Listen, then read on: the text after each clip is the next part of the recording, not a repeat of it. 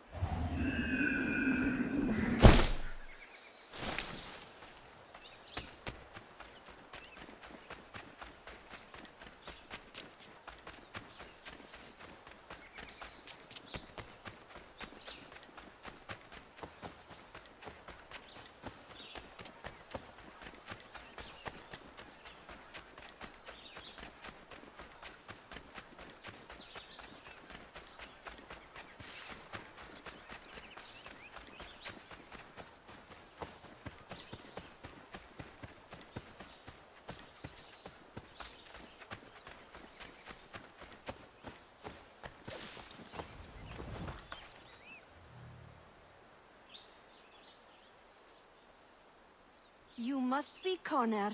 We've been raring to finally meet you.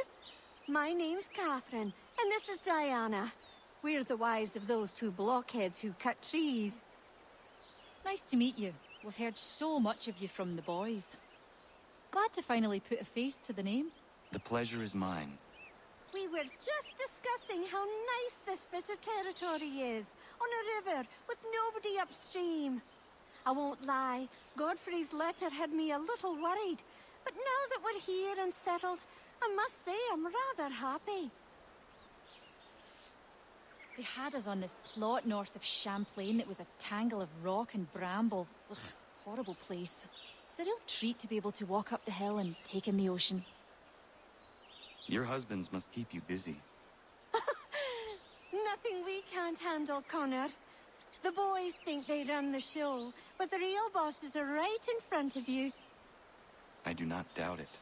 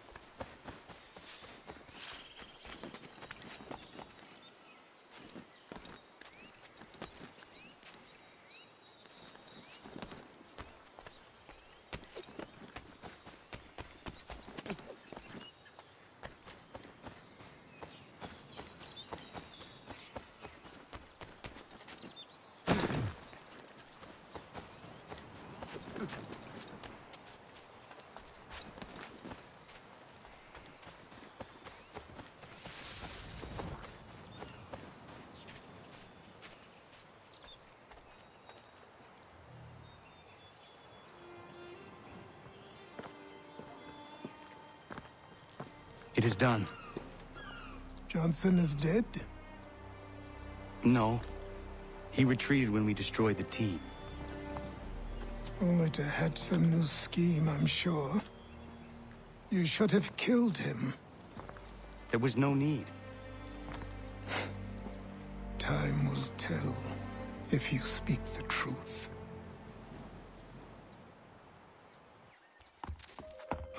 Ratonhnhaké:ton! Radun Hagedum! Kanen'tó:kon, why are you here?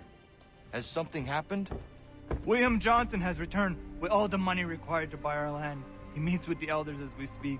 I have begged him to resist, but I fear he shall have his way unless you intervene. How is this possible? We destroyed the tea.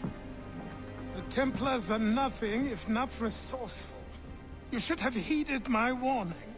Please, you have to stop him. Of course. Can you tell me where they're meeting?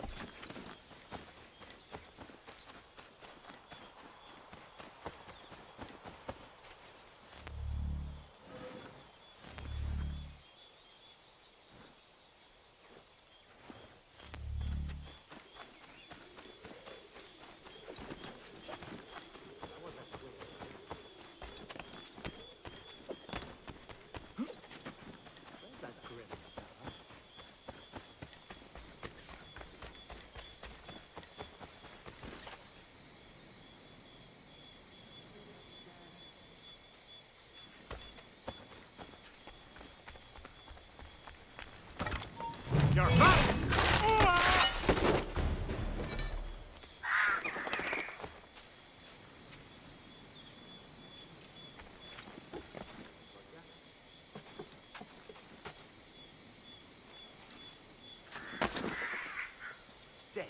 on my bloody watch.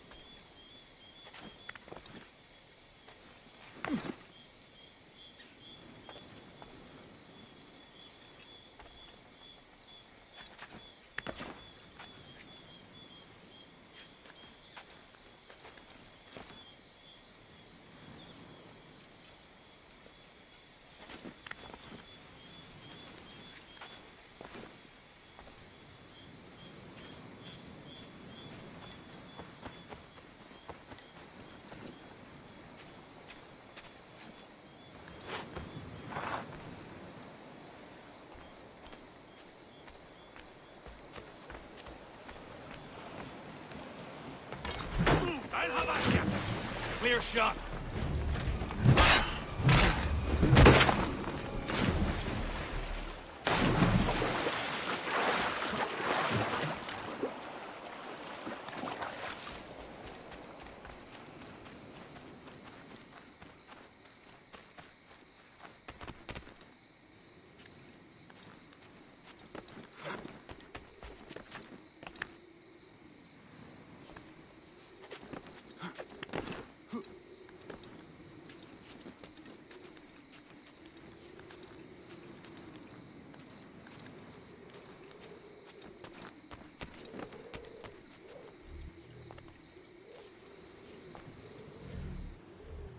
tina ganya daradit ganusate ne Johnson siunja daro rocksta. Guahigan si wat ne ganun haradun hagedum. Ta gua der harat gua kanto.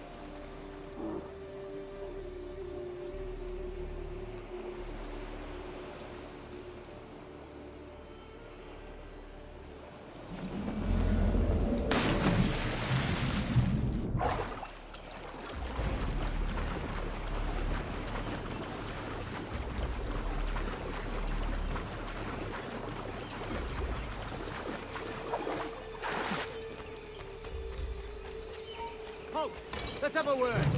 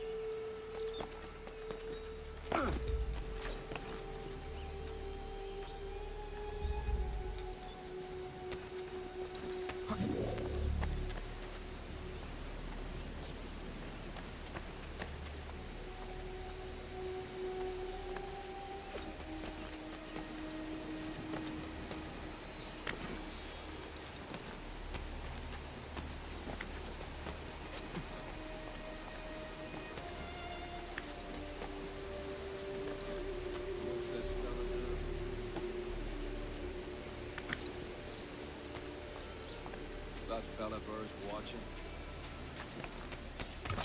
Come on then!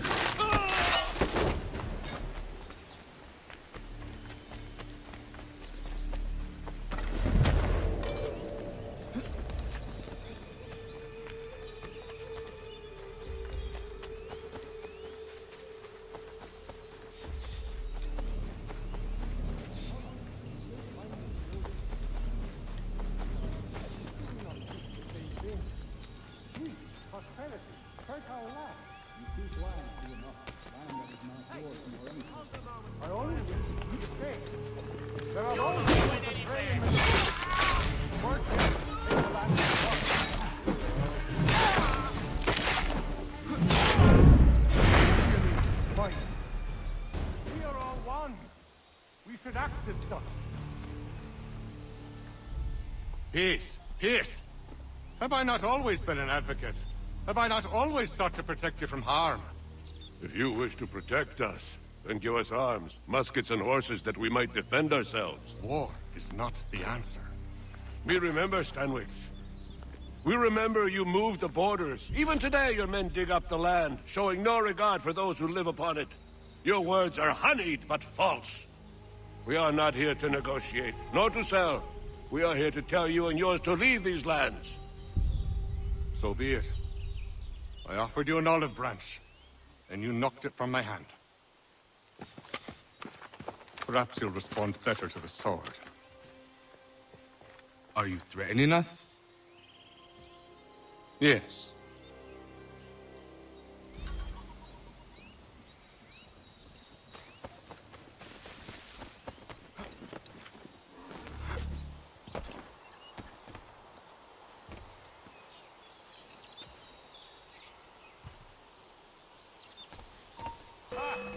Thought you might send one of your own to oppose me? An unwise decision.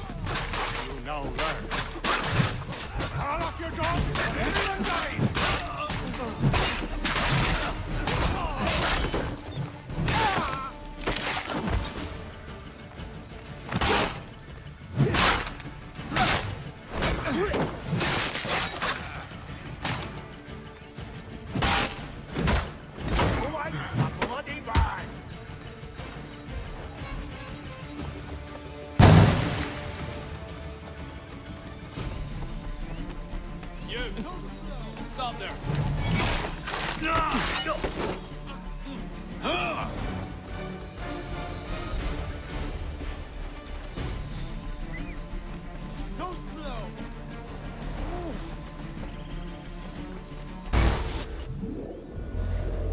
Oh no. What have you done? Ensured an end to your schemes. You sought to claim these lands for the Templars. Aye. That we might protect them. Do you think that good King George lies awake at night, hoping that no harm comes to his native subjects? Or that the people of the city care one whit about them? Oh, sure. The colonists are happy to trade when they need food or shelter, or a bit of extra padding for their armies. But when the walls of the city constrict, when there's crops that need soil, when there's... when there's no more enemy to fight, we'll see how kind the people are then. The colonists have no quarrel with the Iroquois. Not yet. But they will. Tis the way of the world. In time, they'll turn. I... I could have stopped it. I could have saved you all. You speak of salvation, but you were killing them. Aye, because they would not listen. And so, it seems, neither will you.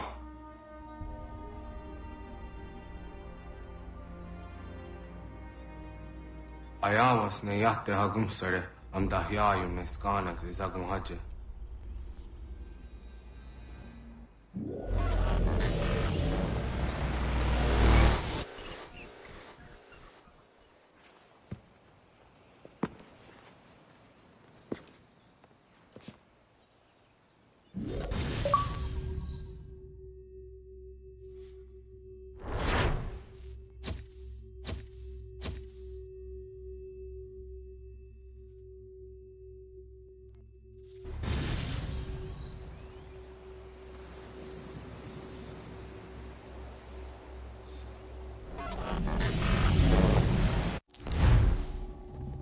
William Johnson is dead, and with him, the Templar plot to steal the land of my people.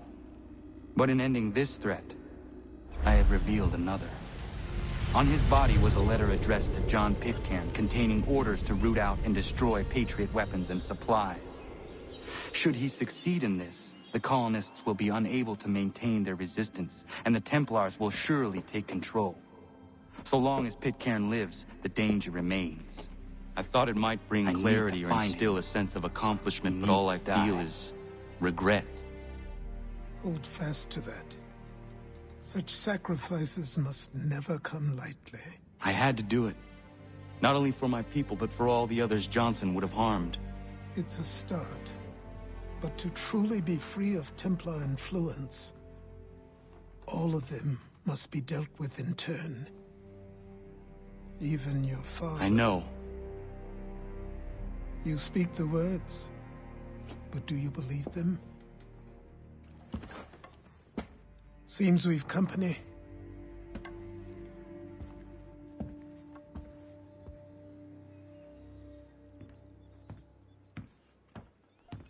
What is it? A request for aid from Paul Revere. Seems the Redcoats are up to something in Boston. Guess you made an impression on the Sons of Liberty. They mistake me for one of their own. Please tell Mr. Revere he has my sympathies, but I cannot help at present. You might wish to reconsider. John Pitcairn is mentioned by name. Where am I to go? Mr. Revere's house in Boston. If you'd like, I can.